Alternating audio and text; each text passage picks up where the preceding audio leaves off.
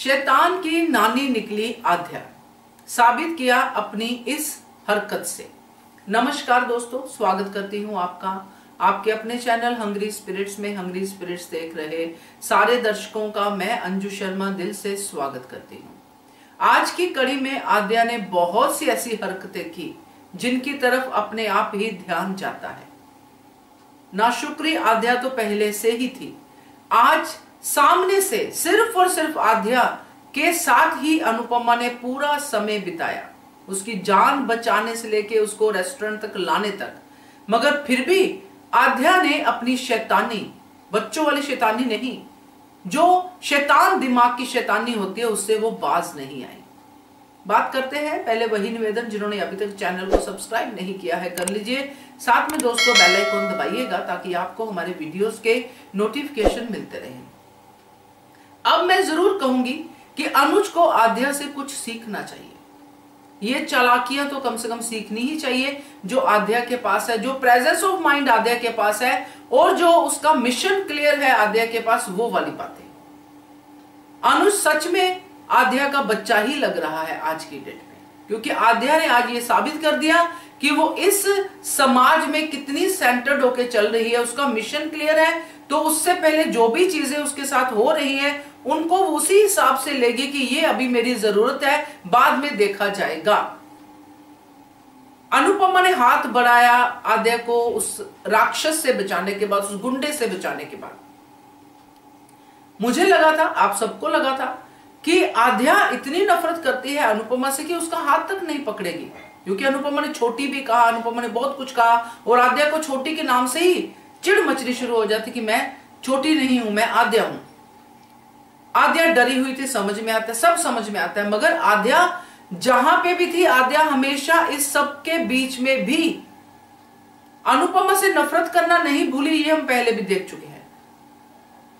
आद्या जब एक्सीडेंट वाले स्पॉट पे थी, तब भी आद्या अनुपमा से नफरत करना नहीं भूली।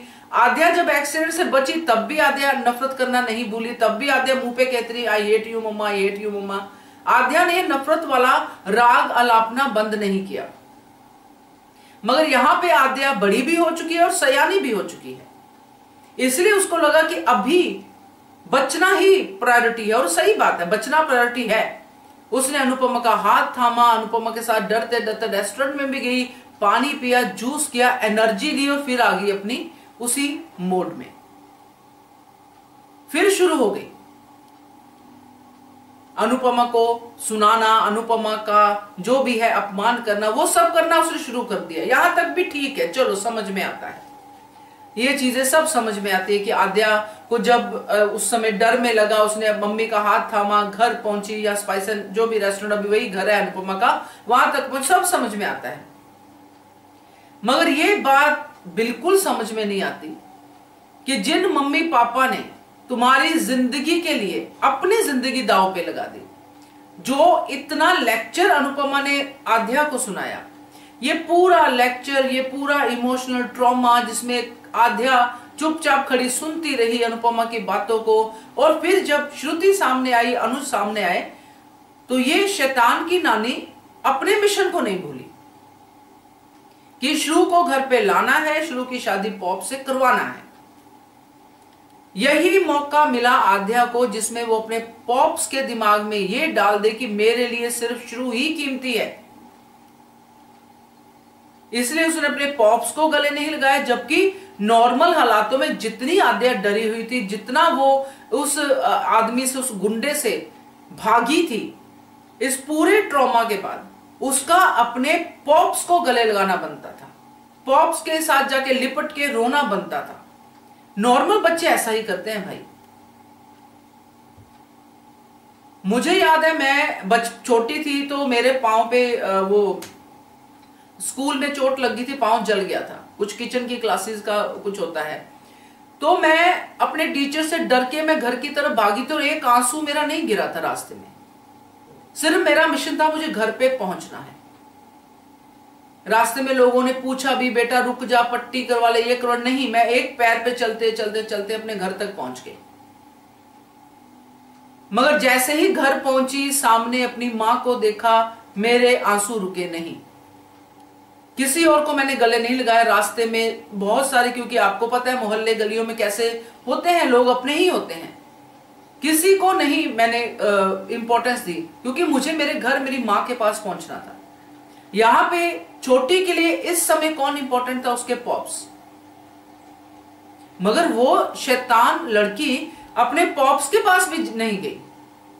उसने अपना मिशन क्लियर रखा, सीधी जाके अपने श्रू के पास गले लगी, क्योंकि इनको मैं साबित कर दूँ कि श्रू मेरे लिए कितनी इंपॉर्टेंट है और मुझे श्रू ही चाहिए मम्मी के तौर पे। और इससे मम्मी की भी इंसल्ट करूँगी और पॉप्स की भी इंसल्ट करूँगी। और पॉप्स के मन में क्लियर कर दूँगी कि आपका डिसीज़न गलत था, आपको श्रू के साथ ही शादी करनी चाहिए, ये औरत हमारे बीच में नहीं आ सकती। कौन कहता है ये आद्या छोटी है?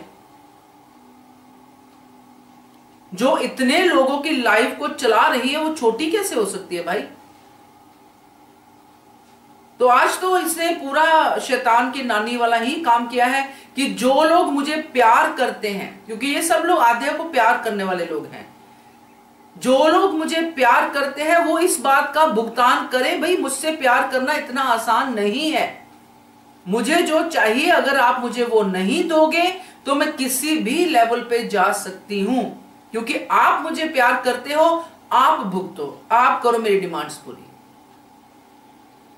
तो अब ये तो अनुज भुगतेगा भाई आगे। क्योंकि आद्या ने तो अपना डिसीज़न आज सुना दिया है। मुझे तो आज ये शैतान की नानी से भाई कम नहीं लगी है। क्योंकि इस तरह की सोच रखना, इतनी क्लैरिटी रखना, चाहे गलत ही क्यों ना हो, ये शैतान कर सकते हैं या फिर वो इंसान कर सकता है जो प्योर हार्टेड हो। क्या कहते हो आप? कमेंट कीजिएगा, देखते रहिए channel Hungry Spirits thank you so much Subscribe to our channel by clicking the subscribe button. Click the bell button and enjoy the latest uploads from our channel.